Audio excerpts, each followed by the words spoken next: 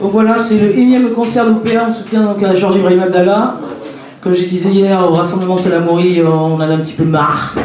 Il nous tente de faire un concert pour la sortie de Georges Ibrahim Abdallah. Euh, c'est vrai qu'il y en a marre. C'est sympa, on est là entre potes et tout, on se fait plaisir, on pense à lui, on envoie l'énergie, mais voilà, au bout d'un moment, il faut vraiment qu'il sorte quoi. 33 ans, là il est en train de faire 34 ans, je sais pas, je sais pas, je, sais pas. Il va se prendre un choc dans la tête quand il va sortir, en plus quand il va voir ça, va...